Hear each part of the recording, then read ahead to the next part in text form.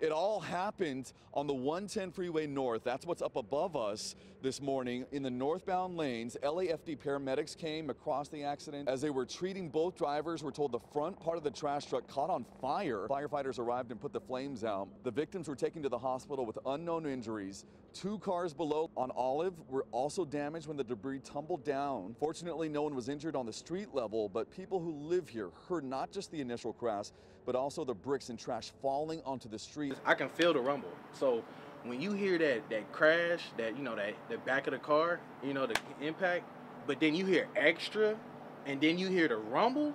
Man, I thought they took away the whole under the house. So I just jumped on the bed. And there's just action not just on the freeway, but down here below where we are on Olive Street, again, just north of the 105 freeway. This is one of the cars that was damaged here. You can see the back window just smashed out from the debris that came down, those big old bricks that we've been seeing here.